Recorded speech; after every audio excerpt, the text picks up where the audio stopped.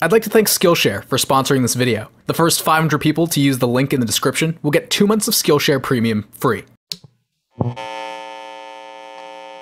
Seven Nation Army has one of the most recognizable riffs of all time. Its melody has become a global sports anthem, and while it might sound like it's played on a bass guitar, that sound is created by Jack White's semi-acoustic guitar, brought down an octave by a guitar pedal. The band never used a bass guitar until the album that followed, and that had to do in part with the band's obsession with the number 3. They only ever used three colors on their album covers, promotional materials, and on stage. Their third album was recorded in three days. Jack White likes to throw the number onto the end of his name. His record label is Third Man Records, and he wrote a song for for Loretta Lynn that was exactly 3 minutes and 33 seconds long.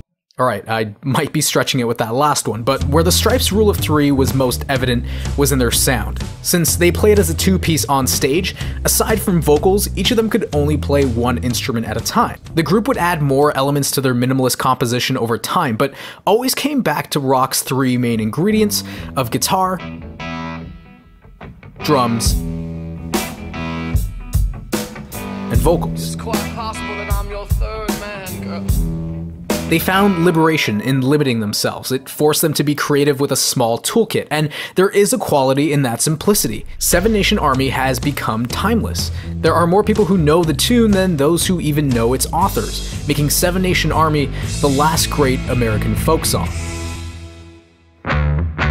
The White Stripes are Jack and Meg White, and despite what the group has publicly tried to portray, my name is Jack White, and this is my big sister Meg White on the drums. The two are not brother and sister. In fact, they were married for a short period of time, which is when Jack adopted Meg's last name. He liked the way it sounded. Probably one of the more controversial aspects of the White Stripes is Meg White's drumming. Her technique, or lack thereof, has been called primitive by nearly every publication who comments on it. But when Jack White started dating Meg, he had her try out the drums one day and said having her on drums liberated him. Her drumming was basic, but she provided the rhythm and timing to complement Jack's guitar and vocals, and it only added to their stripped down sound, but her value really came from her chemistry with Jack. There's an unmistakable connection between the two on stage. They read each other's cues so well, and they had to. The group performed without a set list, improvising from track to track. But we don't have a set list in the White Stripes. Simply put, Meg White wasn't a drummer. She was the White Stripes' drummer. Without a doubt, Jack White's guitar work was the spotlight of every track, full of power chords, fuzzy tones, and screaming guitar solos. It was raw and it always sounded live and improvised. To achieve this, Jack stuck with vintage guitars, the same ones used by his heroes. Jack played Seven Nation Army on a 1950s Kay hollow body, one of the first companies to make electric guitars, and using a Digitech whammy pedal, he was able to make it sound like a bass guitar. I always thought it was Jimmy, a could you, uh, bass that opened the, the song. Just an octave down. The, Okay. The whammy pedal, an octave down. When he first played the riff, it didn't get much of a reaction from Meg or his crew, but Jack knew he had something here and wanted to save the track for something special. He wanted to use it for a Bond theme if he ever got the chance. He eventually did make a Bond track, but decided on keeping Seven Nation Army as the opener for their fourth album, Elephant.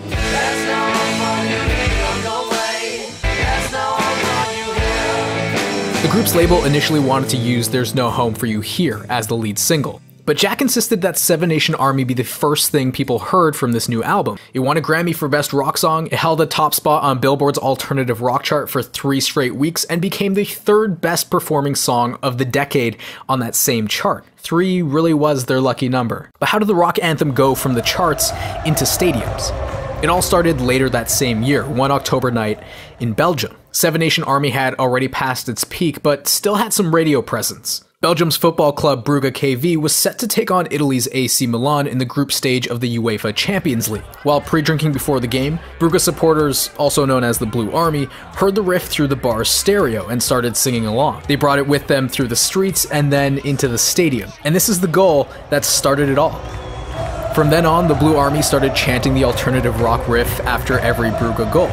It was short, catchy, and intimidating. You didn't need to know the lyrics, and more importantly, you didn't need to be sober to join in. The Belgians made it theirs until 2006 when AS Roma beat Brugge in the 2006 UEFA Cup, taking the chant back home to Italy, where it became known as the Po Po Po Po song. And just on time for the 2006 FIFA World Cup. Italy would come out on top after coincidentally defeating seven nations, and the chant was carried throughout the streets of Rome that day. Since then, Seven Nation Army has become the unofficial anthem of soccer or football. Sorry. They played it at the start of every game in the 2008, 2012, and 2016 Euro Cups. It's become a chant for local and national teams across the continent and the sports world in general, joining jock jams like Rock and Roll Part 2,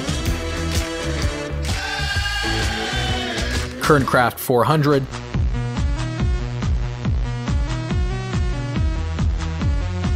and one of the most notorious, Queen's We Will Rock You.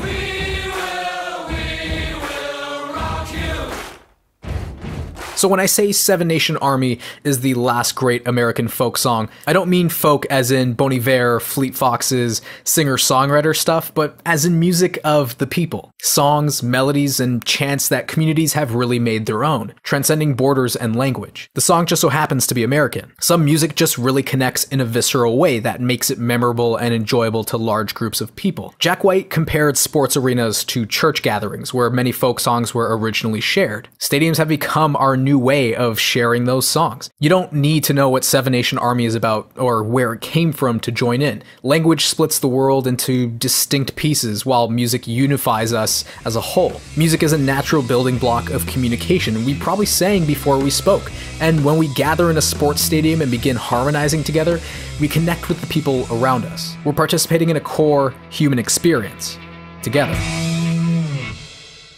If you're looking to enhance your own human experience, you can do so with Skillshare. It's an online learning community with a ton of classes ranging from Nathan Forrest's 31 day guitar challenge to improving your football game with certified personal trainer Jen Puzio. If you use the first link in the description, you'll get two months of Skillshare for free and you can start challenging yourself to learn something new this summer. Thanks for watching, ladies and gents. Patrons, thank you for the continued support. Your pledges go towards making this show better. If you enjoyed the video, please give it a like rating, subscribe to learn more about the music you love, and tell me, do you think Seven Nation Army will live on for years to come? Will we ever get a new stadium chant? Probably. But let me know what you guys think in the comments below. And that's it for me. Again, thanks for watching, and keep listening.